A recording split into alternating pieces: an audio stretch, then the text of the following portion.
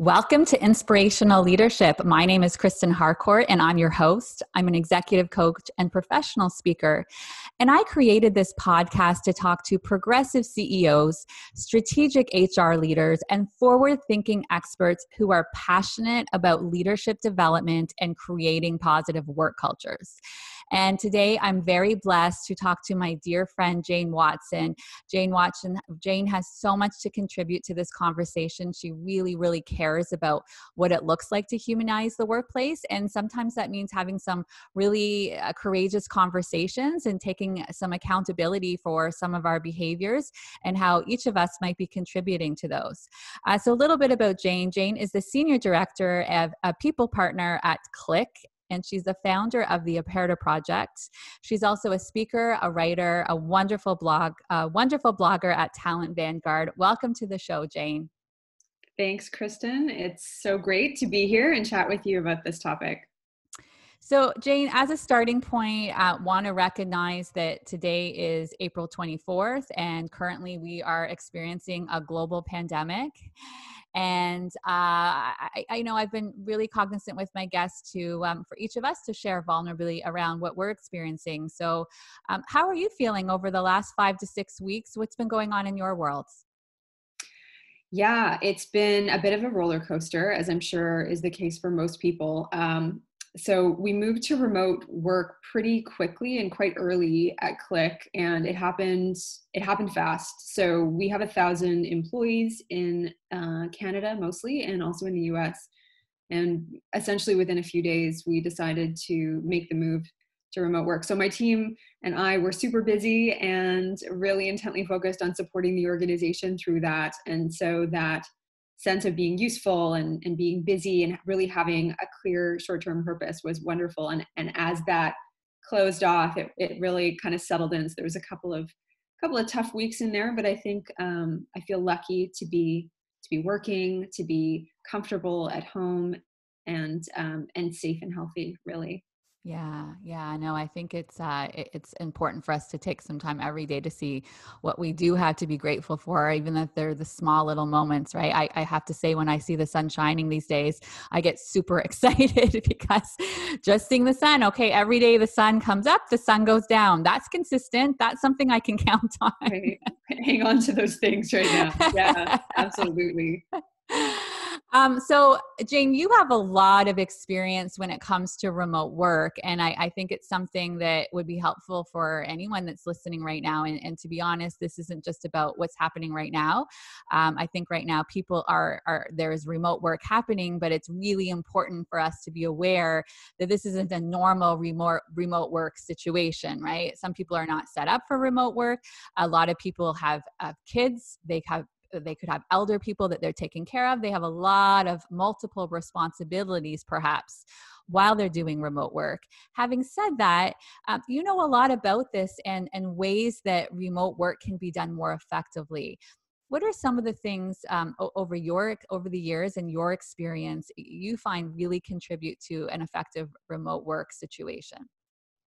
Yeah i appreciate you calling out the fact kristen that this isn't um, you know a normal sort of situation where we're transitioning to remote work you know a lot of organizations uh, are definitely adjusting to this uh, situation sort of as as much as they can but in a pretty uh, you know forceful quick fashion. And i think that's important to recognize because i've sort of likened it to we've all been kind of white knuckling our way through the last month or so with remote work. And a lot of what happens uh, when that quick switch occurs is that we just translate our usual ways of working in, in office through now distance and like mediated by technology and and so there isn't really like a thoughtful deliberative approach to thinking about hey how can we effectively collaborate um, with distributed teams and distributed decision making and so I'm hoping, uh, as I think all of us, you know, speaking from the end of April, see that this is going to stretch out for a while, uh, are able to now step back as we're getting into a little bit more of a routine and think about, okay, what is working about how we're how we're doing this and what isn't. Yeah. And one one of the things that I think Kristen's really common when people move to remote work and just translate existing ways of working is that they fail to take into account some of the the pretty predictable challenges that remote work involves like the lack of context yes. that we all have because in an office you've got that ambient kind of information that you're getting from the environment. You overhear people talking you run into people in the elevator or you know in the kitchen a kitchenette um, and we don't have that now. So there's a lot of blank canvas. Yes and people fill that blank canvas you know a natural human tendency we tell stories to ourselves. And so some of those stories especially at a time like this where there's so much uncertainty um, and really scary stuff happening in the world we can tell ourselves pretty negative stories. So there is a tendency i think for people to um, misinterpret uh, communication that they're getting from other people, particularly in writing. Like if you're using instant message or email, we tend to ascribe more negative connotations to the messages we're getting. So misunderstandings and conflict can occur. But we also can really um, get into our own heads uh, about some of the anxieties that we normally have, but that are really magnified by being alone at home staring into a computer screen and having a lot of this blank canvas to fill. So those are all things I think people really need to attend to right now. Yeah, I think you brought up something that's incredibly important right now, and that's the, the we're really hungering for the human connection, right? We're used to like I, am a hugger by nature, so I, am missing my hugs, and my kids and my husband are like, "Can you stop hugging?" Me? Because there's, there's lots of hugging happening, but in general, right? And and even if you're not a hugger, we're used we're we're used to having a lot of human connection, even with strangers, right? You go order your coffee from Starbucks, you're seeing that person, they might even recognize you. Hey, Jane, you, they know your order, right? All of these mm-hmm. different things, these micro moments that happen throughout our day, we're missing out on some of those. So it's so important from a human connection perspective. Maybe sometimes it's not sending the email and it's not doing a text, and it might not feel as efficient, but it is actually picking up the phone um, and having a, a quick dialogue uh, for that conversation. And as you're saying that and this is going a little further to the other extreme but i think it's important that we bring this up right now um, with with sometimes layoffs happening right now and, and i get it. Sometimes it's just it's in, it, there's nothing that can be done about it in some situations. And some there could be alternatives but some there aren't and um, it, it, it's so important to be very compassionate and empathetic and human in the way those conversations are happening. Uh, i just had a, a, friend of a friend share an experience yesterday where she was let go from a position she'd had for 20 years um, via email. Wow. Yeah i just don't think there's any excuse for that. Um, it's it's really hard. I mean um, you know in my past uh, positions. I worked for a fully remote company for a couple of years, and um, and we did. We were we were a startup, and as is the case with startups, there are ups and downs as as you work through. Um, you know, figuring out your your product market fit, and we did have to do layoffs. And because we were fully remote, we had people in four countries. Um, we did those layoffs remotely, and I know something that I talk about a lot when I when I speak about remote work is that remote you have to start with a mindset shift. And where we started when we thought about as a company that wanted to be transparent that wanted to be empathetic you know what is the right way to approach uh, those situations where you do have to let somebody go remotely? And um, you know at that organization we had some pretty intense talks about it as a leadership team and we decided you really had to start with the end in mind which meant that you had to be even more transparent than uh, you would be in a normal day to day office environment well before termination was even a thought in your mind because uh, people needed to know where they stand. You had to take out some of um, that lack of contact, that blank canvas. So you needed to have really, really adult to adult conversations with people about how they were doing. Uh, so that when and if a decision had to be made about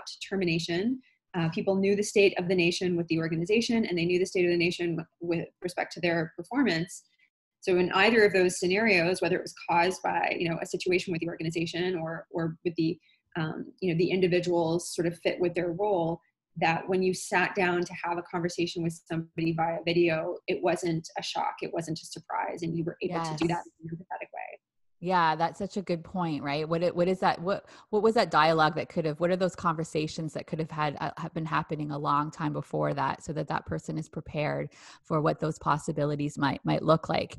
And and Jane, I know you've talked some other times about there's also those ways to create community and connection when you're not in the office. And I remember you um, talking about something where it would be like on Fridays there was something that you would do, and and sometimes it's like we think, oh, it needs to be all business. Well, no, like we need to connect human to human and that sometimes through through fun through play through um, doing things that have absolutely nothing to do with work because then we get to know that person on a deeper level.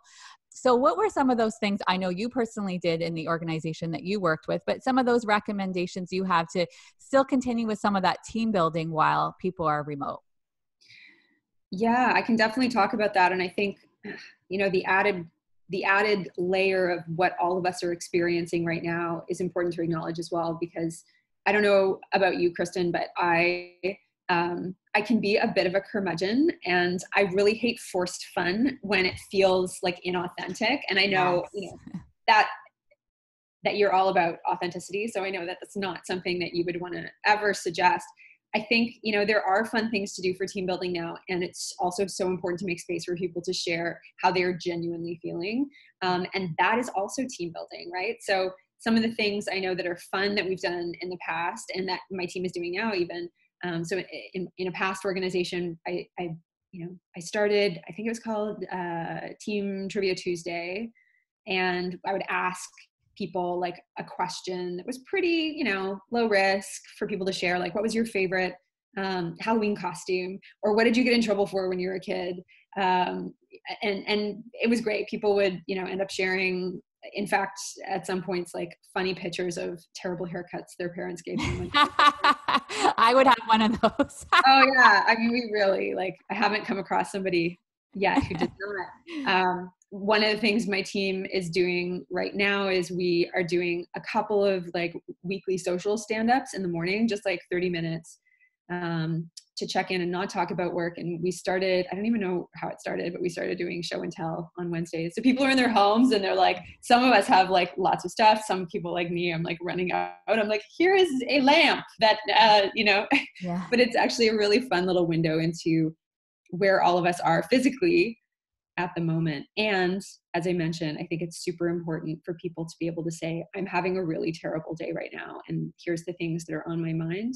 Um, so being able to do both of those things and have that range within your team, I think really shows a lot of trust um, and gives us an opportunity to make sure people don't feel like they have to put on a brave face if they're not feeling that way in a given moment so important and it reminds me of a client was doing something similar to you with mtv cribs and and even with it when they started and showing that everyone was showing their their areas and it's interesting that as they started to continue this because it's been going on for the last month um, people would step forward and they have more ideas right? So it's not that the leaders telling them this is what it is involving them and it's been this um, it's been cool to watch it evolve uh, but i think the other point that is critical that you've shared is that there needs to be um, continuous one-on-one conversation questions around how are you doing in this moment?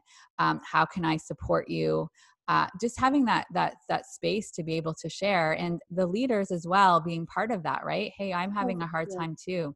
This is what yesterday looked like for mm-hmm. me. Um, i think sometimes there's this belief and, and it does exist in some cultures as well which i know it can be difficult uh, where the leaders feel like oh i have to be the the i have to be the one that's always um, the leader that's the visionary that we can get through this that's championing everything and it's like you're a human just like everybody else and let's give everyone else permission through you sharing authentically and vulnerably yeah i agree and i think that if you can do that as a team as well not just one-on-one like that yes. really speaks to a, an incredible level of psychological safety so something that is not um, you know uh, new or even like specific to my team but my organization um, you know, and my team as people practices, we do a lot of learning and development and workshops internally. Um, and the, the, organization is very much a, a, learning culture that way. And something that we use throughout is uh, the mood meter, which um, comes from the Yale Center for Emotional Intelligence and basically has you know the four quadrants that speak to different um, layer different layers and levels of emotions and it's a tool to basically help you um, increase your emotional granularity. So your ability to pinpoint what you're feeling and to um, to get better at recognizing how that's influencing you how you show up but also you know how you can shift out of those emotions if they're not useful in that moment. Yes. um, and and we use that in all of our workshops and it's actually something that's used quite broadly in the organization. So we also use that as a language to communicate how we're feeling right? So the the quadrants have colors so sometimes you know people are like i'm a high red right now you know that they're super anxious and that is that's become part of our lexicon within my team and the broader organization which is super helpful because it gives you shared language to talk about how you're feeling I think that is incredible. Um, just even as you were saying that, it reminds me of what we're experiencing at home with our little guy, who's our spirited guy. And we talk about if he's in the green or the yellow or the red zone, right? And so there's times where we say, Whoa, he's in the yellow zone. Like we need to act fast right now, right? What do we need to best support him? For him, as our seven year old, he's just experiencing intense emotions, can't mm-hmm. necessarily articulate it the same as adults can, but we'll recognize us as a family, my husband and my daughter, and say, Okay, we're in the yellow zone right now we know we need to work together right now to to support him right? Or he's, he's already in the red zone we recognize that this isn't a time we're going to start to have a conversation he can't hear anything we're saying right? He's not um, so i think anytime you have that that language it just breaks it down right? It creates a framework that everyone can um, can come together and understand. Again it's okay it's normal. We've i've had so many conversations this week around anger and why anger is okay. And it's it's so interesting how much we judge ourselves for having what we consider the bad emotions that we're not supposed mm-hmm. to have. These are the okay emotions. These ones over here we're not supposed to have those. Then i guess we don't get to be human then because it comes with being a human. Yeah, and I mean, one of the things we talk a lot about um, when we do run workshops about this stuff is that every like all emotions can be useful in the right context. So, you know, I always give the example. So in the, the mood meter um, that we use, you know, the blue quadrant is the quadrant that's associated with feeling more like reflective and, and sometimes sad. Um, you know, and I give an example when I deliver that workshop and I say, if I, as, you know, as a people partner and people are coming to me to talk about sometimes challenging situations that they might be in, whether it's related to their career development or a conflict they're having or a challenge that they're not able to overcome in their work. If I showed up feeling like super optimistic and happy and jazzed at all times, I think that it would be very difficult for me to display the kind of empathy that's needed that people are going to feel like I'm hearing them and I'm truly understanding how this is impacting them. And so sometimes having that sort of that that blue like sad reflective being able to tune into that is actually really really helpful and necessary. Um, likewise you know when people are doing their work and they're having to think about you know, we work in life sciences so thinking about patients and how people experience certain disease conditions being able to empathize is critical to design work. Um, so we talk a lot about there are no bad emotions. There are things that are more or less useful to the situation that you're in and you need to be able to sort of not be just in it and experiencing it, but putting it outside yourself. So, you know, if you want to get all like nerdy and, and theoretical, which I do, uh, you know, you think about Kegan, uh, Robert Kegan, and thinking about subject object theory, right? So taking something that is a subject that you are subject to, it's the water you're swimming in as a fish, and being able to label it and put it outside yourself, making it an object that you can actually examine, explore, reflect on, and potentially like act on and shift out of if it's not useful. Mm-hmm. Like that is absolutely critical to development as as a human, as a leader, as um, you know anybody who wants to be an effective self manager as well. Yeah, I talk a lot about this. It's giving, and, and sometimes it's just about giving it that space, right? Instead of rushing out, because a lot of times people will push the emotions down, right? So to give some space to be able to be curious and what's coming up right now, what's the story, getting curious. And then a lot of times you're, once you've done that and you give it that space, you can actually pull yourself out of it. And a lot of times it only actually takes a minute and a half for that emotion to work its way through, but we have to give it that space to be able to release it. And like you said, a lot of times it's because of the story that's actually creating the feelings and starts with the thoughts that then become those feelings and emotions and then result in actions. But when we start to pause then we can re- re- respond instead of reacting. Um, so jane this this podcast is called inspirational leadership. And when i talk about inspirational leadership for me that's around defining what does that look like to show up as the best version of yourself when as a leader. And to me leaders are always growing and developing and that's never going to be done. But when you think about someone who's showing up as a, an inspirational leader and those characteristics around the, the leaders you would like to see in workplaces what does that look like for you? What are some of those behaviors and characteristics? Yeah i think uh, it's a great question and it's been shifting a lot for me um, in the last year or so. So one of the things that um, has taken up a lot of my time and attention uh, in the last year is that i'm also completing a master's program that's focused on human systems intervention, which is about change in human systems, whether that's an organization or a team or, or a community. And I think that that examination, um, which involves a lot of reflection on my own mental models and my own assumptions and the own narratives that I've sort of absorbed in my life and my career, um, there is this real uh, this real um, propensity, I think, in our sort of modern day work culture to to really lionize um, leaders as heroes mm. and to have this view that leaders should have answers, um, that they should be kind of what you were saying to a few moments ago, that they should have this brave face, and that we turn to them for answers. And and I, I think more and more I'm realizing how um, dysfunctional that can be in in certain environments um, particularly in environments as we are right now that are fast changing and that are unprecedented as much as that word is overused right yes, now but really you know there it, there it is filled with complexity and uncertainty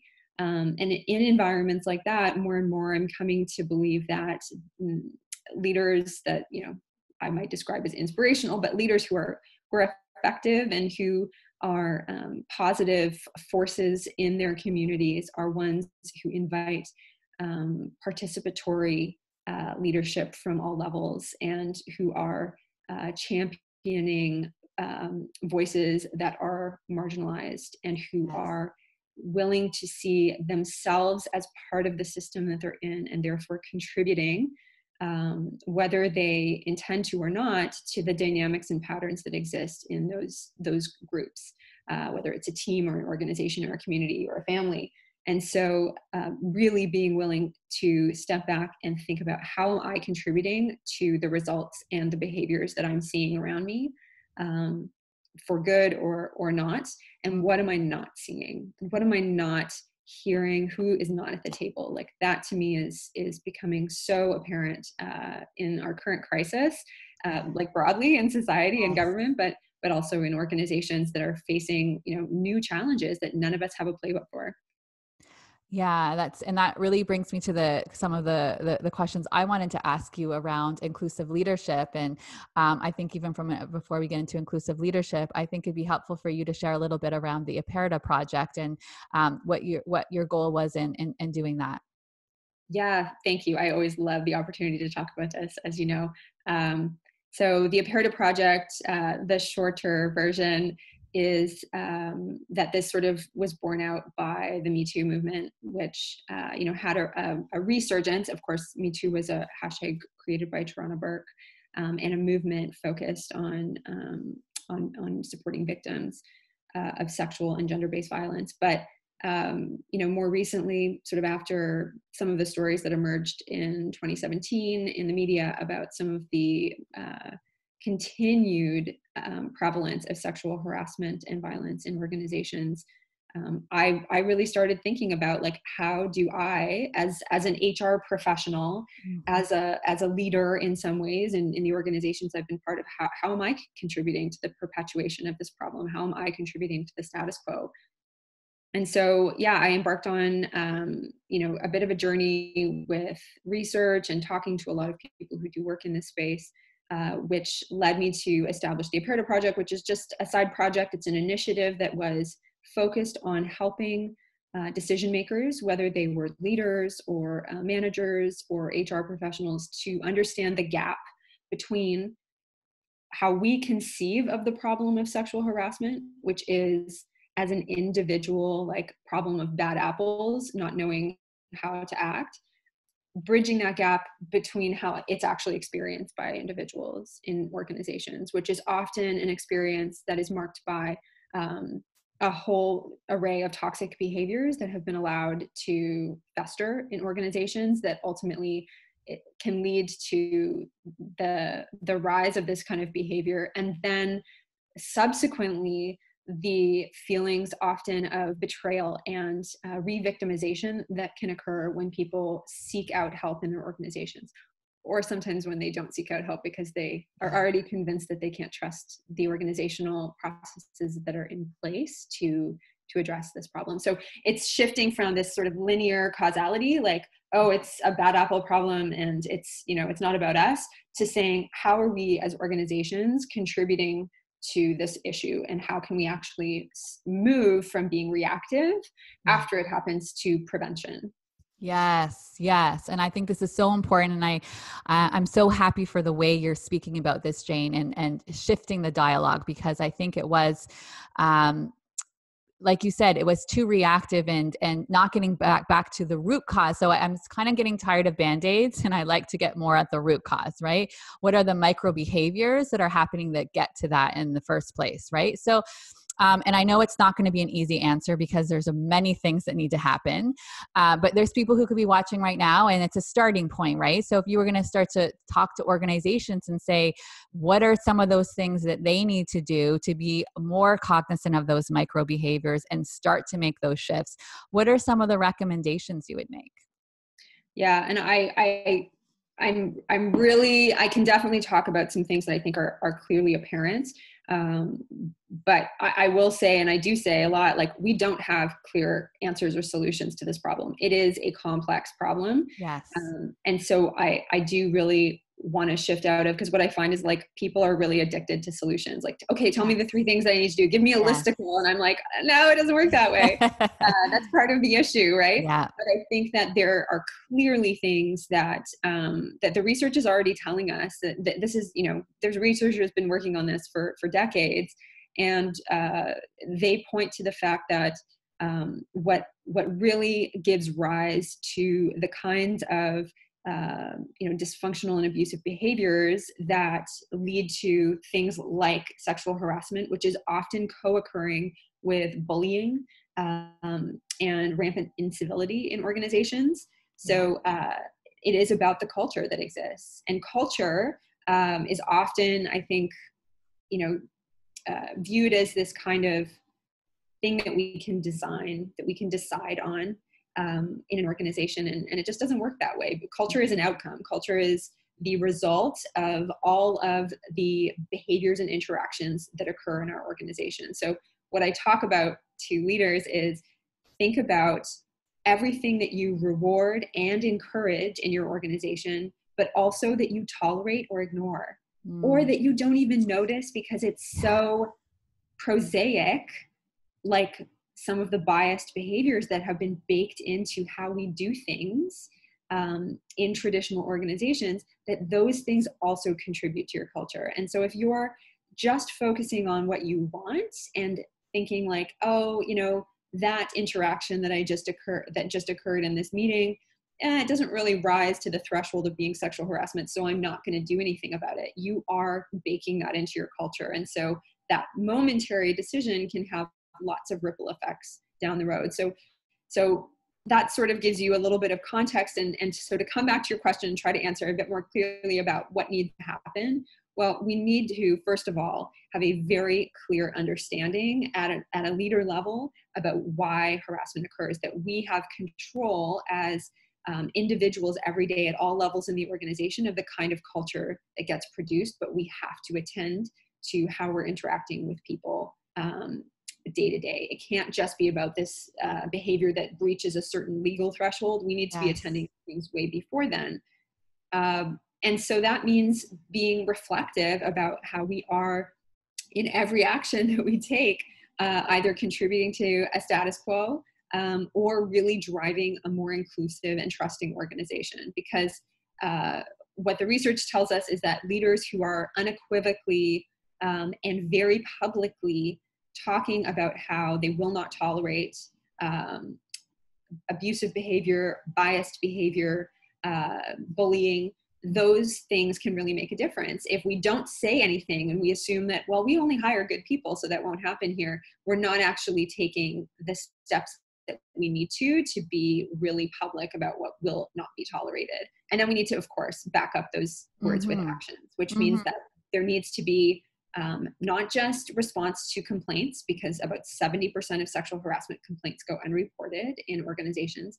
We need to be publicly sometimes uh, addressing behavior that falls short of a high standard that we want to set, which means um, saying to somebody, I notice that you keep interrupting your female colleagues in every meeting that we have, and that's not okay. That's not an inclusive behavior. We need to change that. And it starts with that. People think, oh, that's something small, but it absolutely contributes to a culture that ultimately is more likely to give rise to harassment. And it also contributes to a culture in which uh, someone who might be a target of harassment is sitting there thinking, well, if they're not going to call out something small, they're clearly not going to support me if I report sexual harassment, and therefore mm. I'm not going to. And so it, it, it perpetuates and it continues because we, we can't solve things that we don't see it's so important for like you're saying that victim who's seeing it they don't have that psychological safety or trust so they're just thinking there's no point i'm not going to get the support or or they're going to be victimized again and they know what it looks like in that organization so why would they want to put themselves through that? But i think the other thing that you've pointed to where we all take responsibility and i can think of situations where that happened. I can think of myself as a child where i saw some bullying and i was the bystander. Well it doesn't change when you're in the workplace and you're also the bystander Um, bullying can be those micro behaviors, right? So it, to me, there's a an opportunity for everybody listening to this right now. It doesn't matter who you are. It doesn't matter if you're an HR leader. You don't need to be a leader. And by the way, I think we're all leaders. It's just about a title. Uh, we all have an opportunity to show up as, as leaders and model the behaviors you want to um, for others to to to also be be using um, is to have those courageous bold conversations and say that what what just happened there was not acceptable to it's it's really really really important. And, and and i can think of times where it might have again been smaller that i could have used my voice in that moment. And and and, and again we're all we all can take responsibility. Yeah there is um and I'm I'm going to mix them up. There's two. There's there's lots of amazing researchers out there on this, and I, there's two that are called Jennifer, and I'm going to mix them up. So it's either Jennifer Freyd or Jennifer Berdahl. But one of them speaks about the idea that you know the training that we've typically done, the approaches that we've typically taken to this issue in organizations it, and, and it actually is not just for this issue, is this very rationalist approach, right? Well, we'll just need to tell people not to do this. And we just need to tell people that if it does happen, they should report it. But it really ignores the reality of how this stuff actually occurs and how people actually experience it. Um, and so one of the Jennifers, the Dr. Uh, Freyd or Berdahl talks about instead we need to appeal to the reasonable majority so we actually need to look at the vast number of people in our organizations that don't want this behavior to occur and are not going to perpetuate this behavior, but who yeah. typically stand by because they don't know how to intervene and they don't know if the organization will support them if they do. And so yes. that's really a huge lever for us to be focused on in organizations. And absolutely, it speaks to what you just said, which is that all of us have a part to play. All of us perpetuate and contribute and cultivate culture in our organizations through our behavior and interactions. So we all have that responsibility. Um, but yeah, it really is this this uh, this sort of addiction we have in organizations to this rationalist linear approach where we're like, well, if we just tell people not to do things, like just write a policy about it. Right. Um, and that's not how things actually work. And we can no. we know that right we look at um, the way that that people actually behave in, in real life and and it's so much more complex uh, than that. And so, you know, shifting out of that uh, mentality is, is really tough. But one of the things I talk about a lot is there's been a couple of studies done about how targets of harassment typically respond. And they use a whole variety of coping strategies. And one of the very last ones is formally reporting it.